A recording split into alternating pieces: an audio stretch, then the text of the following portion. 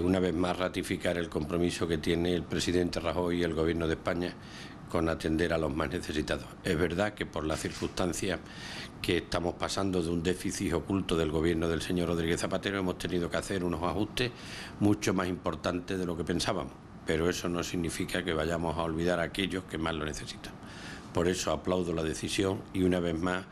pues nos ha demostrado el presidente Rajoy que está al lado de los que más lo necesitan a pesar de las difíciles circunstancias por las que está atravesando España. Yo no acierto a comprender cómo el Partido Socialista anda permanentemente obsesionado con la confrontación en lugar de en estos momentos tan difíciles que estamos pasando, sobre todo propiciado